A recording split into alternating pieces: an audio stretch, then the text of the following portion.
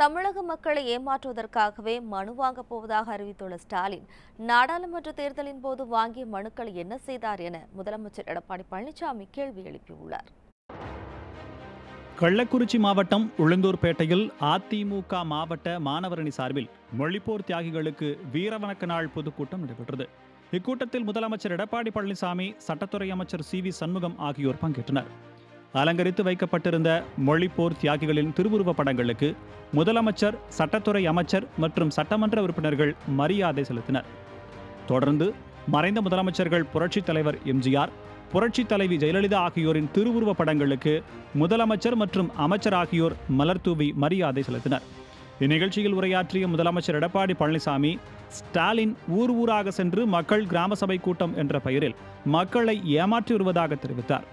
இரண்டாயிரத்தி பத்தொன்பதாம் ஆண்டு நடைபெற்ற கிராம சபை கூட்டங்களின் போது பெறப்பட்ட மனுக்கள் என்னவானது என்று கேள்வி எழுப்பிய முதலமைச்சர் இனி ஸ்டாலின் மக்களை ஏமாற்ற முடியாது என்று தெரிவித்தார்.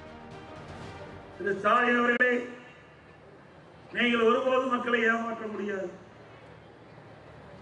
இரண்டாயிரத்தி பத்தொன்பது நாடாளுமன்ற தேர்தலிலே இதே போல மக்கள் கிராம சபை கூட்டம் என்ற கூட்டத்தை ஏற்படுத்தி மக்களை எல்லாம் அமர வைத்து இன்னையிலே அமர்ந்து அவரிடத்திலே புகார் மனுக்களை பெற்றீர்கள். அந்த மனுக்கள் என்ன ஆயிற்று என்பது மக்கள் கேட்கின்றார்கள். நாங்கள் கேட்கவில்லை மக்கள் கேட்கின்றார்கள். இப்பொழுது மக்கள் கிராம சபை கூட்டம் என்று சொல்லி ஊர் ஊராக போய் கூட்டத்தை கூட்டி மக்களிடத்திலே கருத்து கேட்கிறார் ஏற்கனவே மக்கள் சொன்ன கருத்து என்ன ஆயிற்று? ஏற்கனவே மக்கள் கொடுத்தப்பட்ட புகார் மனு என்ன ஆயிற்று என்று மக்கள் கேள்வி எழுப்பிக் கொண்டிருக்கின்றார்கள். ஒரு முறை மக்கள் ஏமாந்தார்கள் இரண்டாயிரத்தி பத்தொன்பதில். இனி ஏமாற தயாராக இல்லை திரு ஸ்டாலின் அவர்களே. முதலமைச்சரின் உதவி மையம் மற்றும் ஒருங்கிணைக்கப்பட்ட குறைதீர்ப்பு மேலாண்மை திட்டம் என்ற திட்டத்தை ஏற்கனவே சட்டப்பேரவையில் தான் அறிவித்துள்ளதாகவும் இதன் மூலம் பொதுமக்கள் தங்கள் வீடுகளில் இருந்தவாறே புகார் அளிக்கலாம் என்று முதலமைச்சர் தெரிவித்தார். தான் ஏற்கனவே அறிவித்த திட்டத்தை ஸ்டாலின் கொண்டு வர உள்ளதாக பிரச்சாரம் மேற்கொண்டு வருவதாக முதலமைச்சர் குற்றம் சாட்டினார். நான் ஏற்கனவே ஒரு திட்டத்தை கொண்டு வரலாம் என்று எண்ணி அதை துவக்கி நடைபெறுகின்ற வேலையிலே தான் இந்த புகார் பெட்டி வைக்கின்ற திட்டம் திரு ஸ்டாலினுக்கு கசிஞ்சு வச்சிருக்கார். முதலமைச்சரின் உதவி மையம் மற்றும் ஒருங்கிணைக்கப்பட்ட குறைதீர்ப்பு மேலாண்மை திட்டம். ஒன்றை மாண்பு அம்மாவின் அரசு செயல்படுத்தும் என்று நான் சட்டப்பேரவை நூத்தி பத்து விதியின் கீழ் பதினஞ்சு ஒன்பது இரண்டாயிரத்தி இருபது அன்று நான் ஏற்கனவே அறிவித்திருக்கின்றேன். இத்திட்டத்தின் மூலம் மனுதாரர் வட்ட அளவர்கள் வட்ட மாவட்ட அலுவலகத்திற்கோ தலைமைச் செயலாளருக்கோ நேரில் வர வேண்டிய அவசியமில்லை.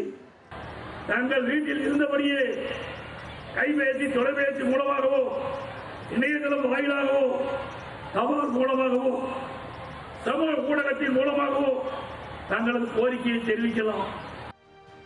முன்னதாக உரையாற்றிய சட்டத்துறை அமைச்சர் சி வி சண்முகம் மத்தியில் ஆட்சியில் இருந்த கருணாநிதி தமிழகத்தின் உரிமைக்காகவும் தமிழ் மொழிக்காகவும் எந்த நடவடிக்கையையும் எடுக்கவில்லை என்று குற்றம் சாட்டினார். தற்போது வேல் ஏந்தி மக்களை ஏமாற்ற ஸ்டாலின் நாடகமாடி வருவதாகவும் தெரிவித்தார்.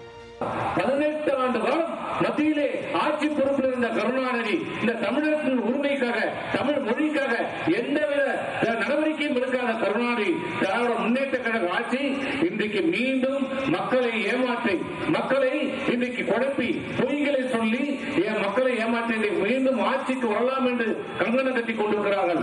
ஆகவே நாம் எச்சரிக்கையாக இருக்க வேண்டும். இன்றைக்கு பல்வேறு வேஷங்களை இன்றைக்கு ஸ்டாலின் போட்டுக் கொண்டிருக்கின்றார். நேற்று கூட நீங்கள் எல்லாம் பார்த்திருக்கலாம். நேற்று வரை விபதியை பூசினால் அந்த விபதியை அழித்த கருணாநிதியும் அவனுடைய மகனும் இன்றைக்கு வேலை எழுதி கொண்டிருக்கிற நிலை இன்றைக்கு ஏற்பட்டிருக்கிறது. மொழிப்போர் தியாகிகளுக்கான வீரவணக்க நாள் பொதுக்கூட்டத்தில் சட்டமன்ற உறுப்பினர்கள் குமரகுரு பிரபு சத்யா பன்னீர்செல்வம் பாண்டியன் முருகுமாறன் மற்றும் முன்னாள் அமைச்சர் மோகன் உள்ளிட்டோர் பங்கேற்றனர்.